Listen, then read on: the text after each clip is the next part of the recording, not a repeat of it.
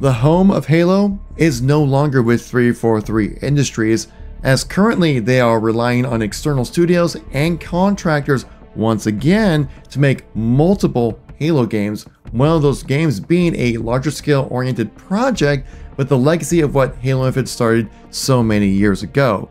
Well, according to the recent leaks from Bathrobe Spartan, as he recently stated a bunch of insider information about the current development status at 343 Industries and the next Halo project, going into good detail, but keeping it rather brief when it comes to everything we need to know when it comes to the next Halo game. Really bringing back up those rumors of 343 being much more of a publisher type of developer rather than where Halo is actually made. The first bit of evidence he brings up for his claims right here is saying how 343 have not been able to hold on to their employees over the past year and a half or so since the major layoffs back in January of 2023, saying an estimated 50 or 60 people have been let go, on top of the round close to 100 people were laid off. Now I have checked with my personal sources about 343 news and things like that, and one specific part of this entire thread actually rang very true, which is also rather concerning, and that is this tweet right here, part of the thread,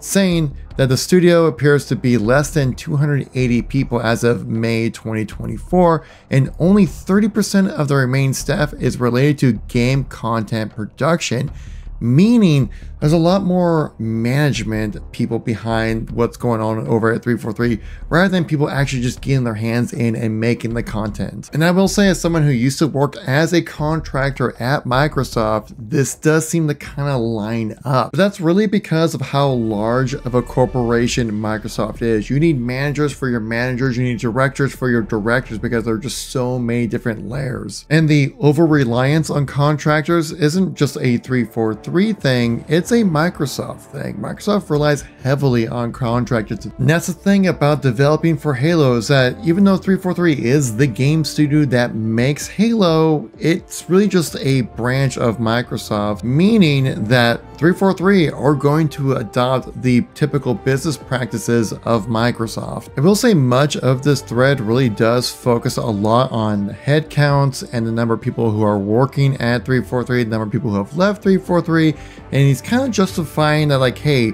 there are the amount of people have left compared to the amount of people who have come on recently. Says 343 is currently hiring new positions, right? But the more higher level producer kind of roles, meaning that the game really isn't much in a production state right now, as stated in one of the tweets here, saying uh, not enough stuff, not enough staff to be re production ready, which I think kind of lines up. I mean, uh, we do know that we've seen like LinkedIn profiles saying that they've been working on an unidentified Halo project since 2022. But of course, literally making any progress to a new Halo game can be considered new production. Meaning if Halo is not even production ready at this point, we're at least two or three years away from an actual release of a Halo product, which is just wild to think about that Halo 5 released in 2015, Halo Infinite releases in 2021, we're probably not going to get another Halo title until 2026 at best. One game in the span of 10 years. That is just insane. But honestly, it kind of makes sense as the way Microsoft and 343 tried to develop Halo Infinite. It was supposed to put like all their eggs in one basket and this was going to be the Halo platform for the 10 years, right? Well, clearly that didn't happen. But for right now, all we have is Halo Infinite, and it's not really looking that great. We do know that 343 are moving on, right? They've literally said this to us publicly that 343 are moving on to different projects, but you know, trying to maintain Halo Infinite.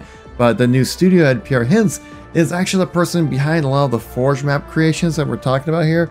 Saying here from a former employee actually said that Pierre who was the person who mandated Forge maps going forward, as in let's drop all type of development when it comes to making developer-made maps and just rely on the community to you know, basically keep this game running. And this philosophy has actually put a big strain on the forging community as well as some people have gotten fed up with it, but the reliance on the Forge community working for free to keep this game afloat with no compensation whatsoever it's left them with a bitter taste in their mouth. They're not happy with the current state of how 343 are handling their Forge works. So it's like if even 343 releases a new Halo game with the best Forge ever, are Forgers really gonna want to put the time and effort into this game because of how much they're being leaned on right now by 343 with minimal to no compensation whatsoever. Not even have to be financial compensation, but just recognition to help platform these amazing map creators, right? You can help them get a job in game development. A lot of people have done that, starting with Forge and then getting into actual development tools to then get a job within the industry. We also get some information about how Infinite is viewed internally at Microsoft. Like, was it actually successful on Microsoft side of things? Because we see all the numbers, we see the Steam charts, it doesn't look very good, right? But how does Microsoft and 343 view the game? Well, according to the thread right here, saying that as a product didn't meet its commercial goals, projections implied it wasn't worth contracting new content outside of the cosmetics, which was still left to be finished, and also meaning that no new sandbox items are coming to the game, which I mean, I, I, see your guys' comments out there. I know some of you guys are just dying for new stuff to use in the game, right? New guns, new equipment, new vehicles, things like that, like the Falcon that we've seen leaked plenty of times. Where's that at right now? Apparently it's like 90% there, just needs that extra 10% to be like something viable to be played online, and the people are just not there to make that kind of stuff happen at 343 right now. And so, I mean, we do know that 343, like I said, have moved on from Infinite, right? I think we can all see it. They've told us literally in, you know, publicly that Infinite's not the focus of Halo development anymore.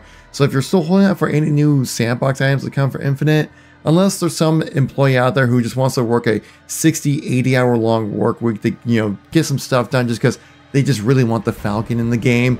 I just don't see anything new coming to halo infinite anytime ever. So what's it looking like with 343 now moving forward with halo content? Well it seems like they're doing a new production method as stated here, saying that 343 Industries have shifted to a new production method, separating lead development and production, hiring lead positions to do the concept and pre-production in-house, and handing off the production work to another studio, similar to Halo Wars 2, which could possibly be the case. We have seen 343 have long-term relationships with external studios like Certain Affinity has been working with 343 since Halo 4 have made some of the best bits of content Halo has ever had in the past 10 or 15 years or so. But a very credible news insider of just Xbox news, Windows gaming news in general, Jez Corden did say this, saying, checked into the latest rumors going around that 343 isn't going to develop Halo games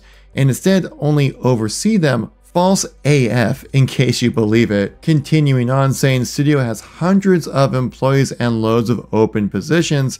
Pretty big team if all you're doing is overseeing, which does seem to make a lot of sense, though Jez has been a little wrong in the past. If you guys remember a few years back with Sean W. and Jez Corden talking about the Halo franchise switching to the Unreal Engine, and at the time Jez was saying that's not happening, that's crazy to talk about, and Sean W was like, no, that's going to happen. But I think they were talking about in the context of Halo Infinite, not realizing that just soon after that, Jason Schreier comes out, who's like probably the most legitimate gaming insider, comes out and says that 343 are moving to the Unreal Engine, which would make a lot of sense as Slipspace has been a major pain point when it comes to development of Halo. So I do feel like that discrepancy in knowledge really just kind of comes with working within the nature of leaks and rumors because all of this is third-hand, second-hand information. No one gets it directly from the source like Pierre Hintz or something like that, talking about what the plan is for Halo. It's always talking about from a developer who talked to somebody who knows this kind of stuff. That's why I always say when it comes to leaks and rumors, it's better to kind of just get the general idea and the big picture of what's happening rather than being lost in the details of exactly how many people are working over here, how many studios are supporting, what exactly are they working on. I think it's more important just to understand that 343 are currently hiring. They are hiring mainly production people, higher up, more upper management type of roles for whatever the next Halo project is going to be. And they are working with external studios who probably help with some heavy lifting like we've seen in the previous development cycles of various Halo games. And talking about the production of various Halo games, we currently see that right now, according to Bathrobe Spartan saying, one of the projects seems to be a PvP bigger scale oriented project, the legacy of what was started for Halo Infinite years ago. Now, bigger scale, I'm not quite sure exactly what they mean by that, as in like Is it just going to be like BTB, with like 50 versus 50, or we're talking big scale as in like a full on release Halo game with campaign, multiplayer, and like a third mode that could be like firefight or something. I don't know. Though according to my insider source about the inner goings at 343, there's one part of this thread that was the most true thing Bathrobe Spartan has ever said about anything Halo related. And it's this ending part of the tweet saying, I have an educated guess, but I don't blindly trust leakers or insiders, even us.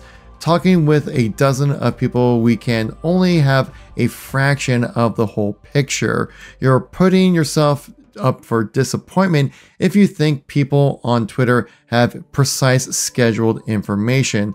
Talking about if you see people out there giving actual dates about when they see like the next Halo game come out, like that's when it's going to happen. No one knows, not even the developers at 343 truly know. So I gotta keep it real with you guys, I'm keep it 100 with you guys, even though I do love Bathrobe Spartan, he does come up with some great information, so that's great for content to make a video about like I am right now. But I gotta tell you, with this thread that I read through, honestly guys, I don't really find that much information inside this thread being damning or anything different or interesting that we haven't really talked about or already knew about when it comes to all things happening with development of Halo or whatever the next project is going to be. Because yeah, we've seen plenty of people leave, we've seen plenty of people getting hired. We do know that 343 are relying, on forgers when it comes to supporting Halo Infinite. We do know that yeah, there is another Halo game currently in the works at the moment. Some type of project, maybe not a full-on Halo game, but something Halo related is currently within the works and we're going to get in the next two years, maybe three years, something like that.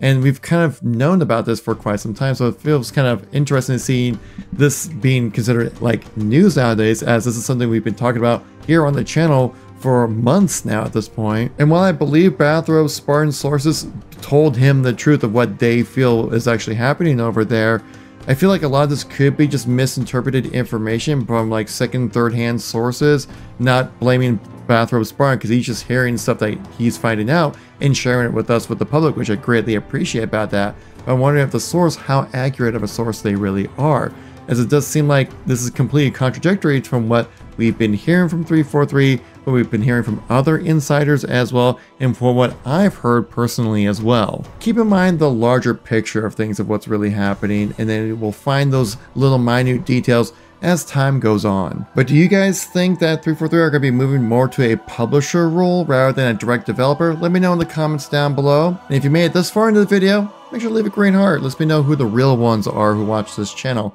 But thank you guys all so much for watching. I greatly appreciate it. Check out these videos right here if you missed any content from me recently. I'll catch you all in the next one. Peace out.